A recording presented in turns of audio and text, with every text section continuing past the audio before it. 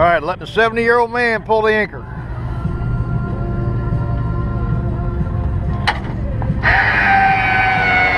Got 150 feet of rope out. Don't kill yourself.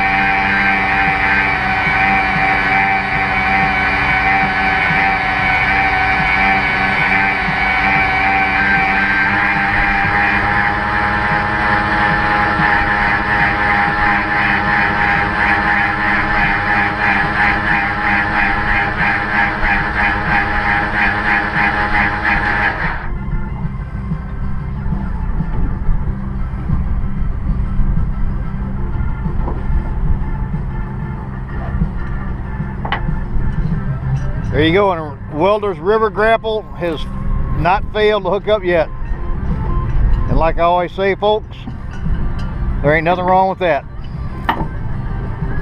What do you think, Pops? Number one. Right on.